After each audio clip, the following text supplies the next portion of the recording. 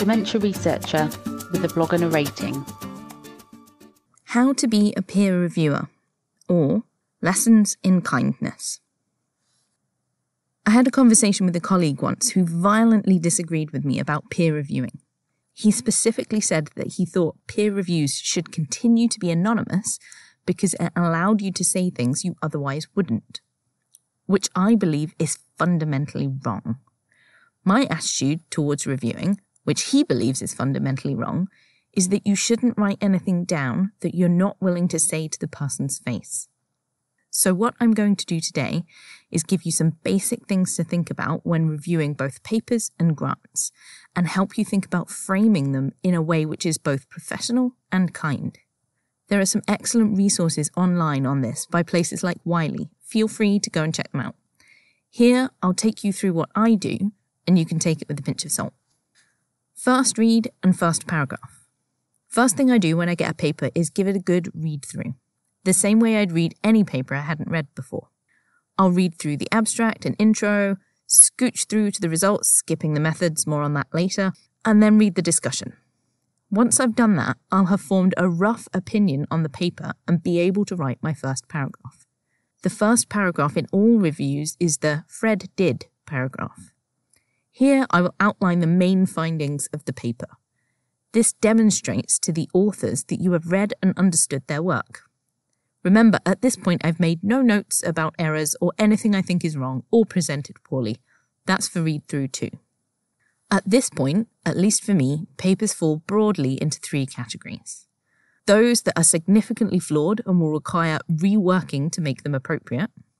Those that are decent and merely require some tweaking to make them up to scratch. And those that are really good. At the end of your first paragraph, this is where you can highlight this. My go to sentence is something along the lines of Overall, this paper is. Selecting one example at random from my reviews folder. Overall, the manuscript is well written, however, I have some reservations about the quality of the science and the conclusions drawn. These are outlined below. Second read and the list. To be reviewing a paper at all, you should have enough experience of reading papers under your belt to spot a good one from a bad one. So you should be able to come to similar conclusions about quality at the end of the first read. If you're not experienced at reviewing papers but you're learning, do this process with someone more senior. They will help give context to your criticisms and point out whether they're warranted or not. Because at this point, you must remember that your criticism is supposed to help the authors get published. Even if you reject their paper or grant for whatever reason, you should provide them with information on why you have rejected, but also what they can do to improve. The most basic questions you need to ask yourself when reviewing anything are 1. What question are the authors or applicants trying to answer? 2. Are the ways they are trying to answer that question the most appropriate? 3. Are their claims backed up by their results? The first one is relatively easy and should be well highlighted by the authors. If it's not, this is a problem. You should, after the first read through, have a basic idea of what the problem is. And if you don't, you need to point this out. And if it's your field, you should also have an idea of whether the question is novel or not. If they're showing something which has been shown before, that's fine. Reproducibility is important in science. But if they're showing something that's been shown before and claiming it's new, that's a problem. Numbers two and three require you to have some experience in the field, which is why it's useful to carry this process out with someone more senior if you're new at it. Let's give you an example which covers two and three so you can see where I'm coming from. An author is interested in microglial activity in the region of a stroke. They have stained for a microglial activation marker in tissue sections and counted the number of active glia in different brain regions.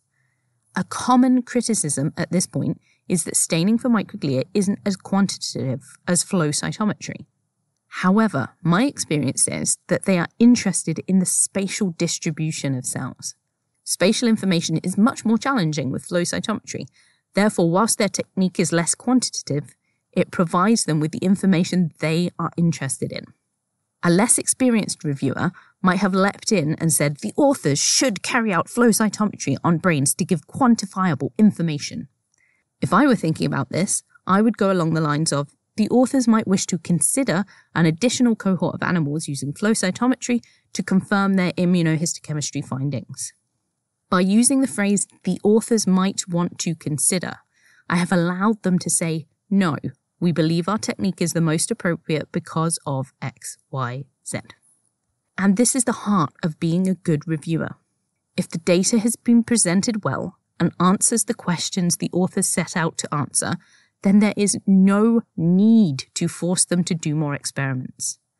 They could always do more experiments. That is the nature of research. At this point, if you think there are experiments which might make the paper even better than it is, then you should set your statements out in a way that demonstrates this is not required for acceptance. I like to use have the authors considered. This gives them the opportunity to say yes, but it costs too much, or yes, but it doesn't work because of this. At this point, I try to split my comments into major concerns and minor concerns, where major concerns are worries about the conclusions the authors have drawn based on the data, and minor concerns are I can't read that graph axis because it's pixelated. If the data have been presented badly or fails to answer the question the authors set out to answer, this is where tact and diplomacy are required. Try not to use overly emotive language like poor or badly done. Be critical and constructive. I recently reviewed a paper where the images were so unclear as to make concluding anything impossible. In this case, my comment was In their current format, the images are unclear and the lesions are not discernible. Jones et al. 2020 have an excellent example of this type of image. The authors should reformat their current images so the lesions are clear as can be seen in this example. This gives them a template as to what I consider the gold standard. Do not simply provide them with a problem or a concern unless you are also going to suggest a solution. Statistics. When reviewing papers, it's important to think about the number of subjects used and the statistical tests and approaches used. When reviewing grants, it's important to think about the power calculations used to reach those numbers. This will vary depending on your field. For example, a cohort of inbred mice is likely to generate a very neat dataset if you challenge them all with something pro inflammatory like lipopolysaccharide. But a cohort of random people taken from the street is likely to generate a very noisy dataset if you do the same thing. Is the number of patients or mice or cells adequate to say whatever they were trying to prove is true or not true? did the authors or applicants consider fully blinding their experiments so the data is unbiased? If you don't believe it's true, or you believe their data is underpowered, or you don't believe they randomized their experiments properly, then this is all you need to say. Ask for their original power calculations. Ask for their raw data. Neither of these is unreasonable, nor will they result in them having to do more work. And remember, just because something isn't different doesn't mean it isn't interesting. Negative data have meaning too, so don't dismiss a paper because the miracle herbal remedy fails to cure dementia. Language.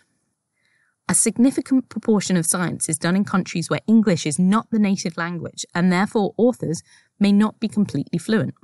There may be a number of errors in grammar or spelling, or even sentences that don't make sense. Unless this is absolutely preventing you from reading the paper, this has only happened to me once.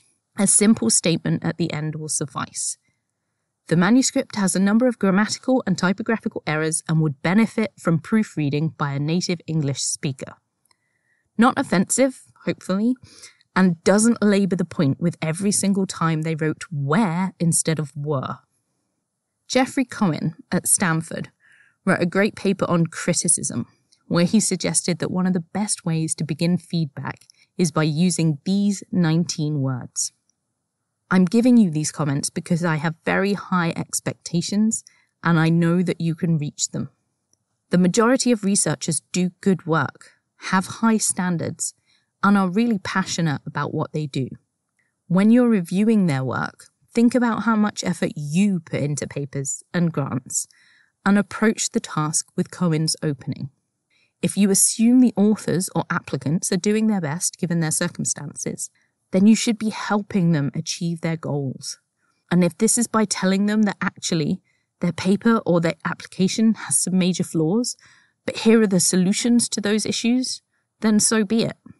By approaching the process of peer review from an unbiased and open point of view, science can be allowed to progress without becoming needlessly competitive and backstabbing, which I think we'll all agree would make this difficult career a lot nicer to work in. Thank you for listening. Join the Dementia Research bloggers and share your own views.